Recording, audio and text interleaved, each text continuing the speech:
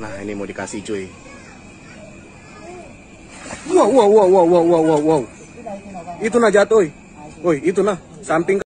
Viral video detik-detik kaki seorang pria di Bontang nyaris disambar buaya. Beredar di media sosial, video seorang pria di Bontang hampir saja kakinya dilahap oleh seekor buaya yang berada di salah satu sungai Bontang.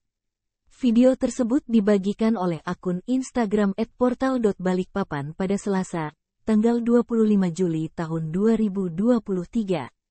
Tampak dalam video, seorang pria memberikan santapan ayam untuk dimakan buaya.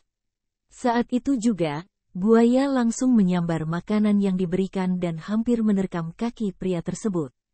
Menurut informasi, pria bernama Ambo ini telah dikenal oleh penduduk sekitar karena memiliki kedekatan dengan seekor buaya betina yang ia beri nama Rizka. Dikabarkan buaya tersebut hampir setiap hari mengunjungi kediaman Pak Ambo di Muara Sungai Guntung, Kelurahan Guntung, Bontang, Kalimantan Timur. Sontak, kejadian ini mencuri perhatian netizen. Tak sedikit komentar unik diberikan kepada aksi Pak Sambo yang akrab dengan buaya. Terima kasih sudah nonton.